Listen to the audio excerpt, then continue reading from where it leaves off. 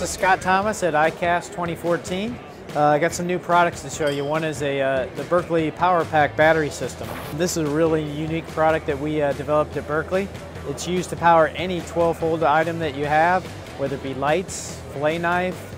Uh, we also have a USB connection on the front of the battery, so you can plug in your uh, cell phone or your iPad or iPod and charge it at any time.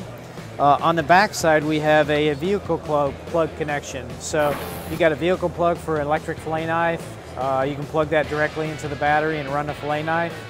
Um, also, very useful product for running electronics. So if you're in a kayak uh, and you got a fish finder, or if you're out ice fishing and you got a Vexilar system you might be using, you can take this with you and have uh, power anywhere. Great product from Berkley. Uh, you'll see it on this fall in uh, stores in your area.